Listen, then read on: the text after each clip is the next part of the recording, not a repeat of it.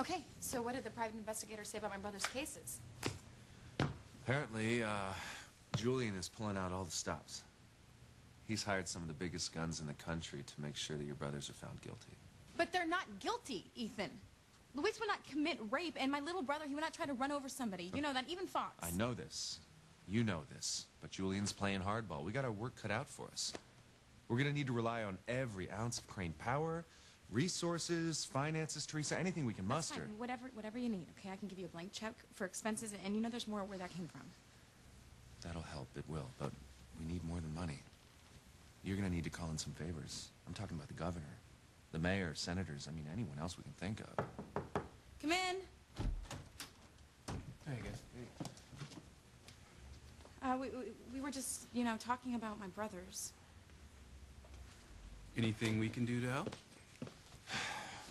I appreciate that. Why exactly haven't you told Ethan yet? Oh, this isn't good. I mean, it's like, you know, Ethan's phone was ringing, and, and, it, and it was the private investigator, and he had to take it. Well, but, you know, this is crazy. You should have told him by now. I guess I don't have to tell you that Jared's still here. No, I know Jared's here. He came and he, he saw me. Okay, well then stop stalling. Tell Ethan the truth so that everybody knows where they stand. I, it, you know, it kind of threw me when he said that he'd fight to, to get me back. Don't do this.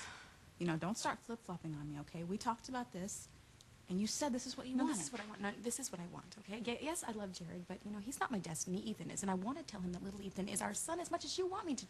Okay. Well, then now's your chance. He's off the phone. Tell Ethan right now. Okay. I will. Okay.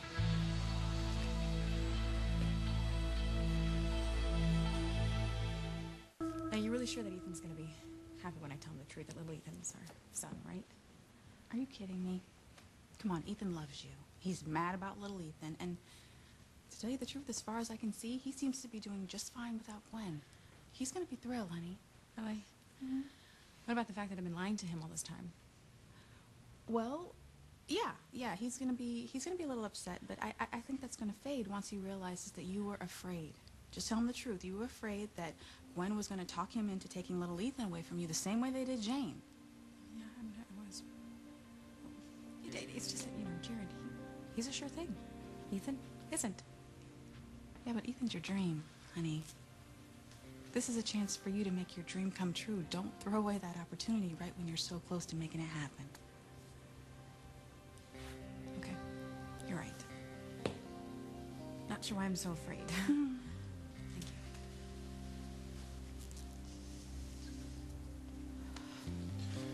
Good luck. Thanks. Um. So, um, the thing that I, I wanted to discuss with you, Yeah, the, the thing you said you should have told me a long time ago. I should have told you a long time ago, but you know, I had my reasons not to tell you, but you know, those reasons are gone now. You think we should get out of here? Give him some privacy? No, no, no, no. I, I want to stick around and make sure she actually goes through with this, okay? It's okay. Go ahead. Tell me. Okay. Ethan, it's about us. It's about little. Hmm. Please don't answer it. It's the PI again. Yeah, yeah. You should get it, you know? Because m- maybe he has a way to clear my brother's names. Right. Yeah.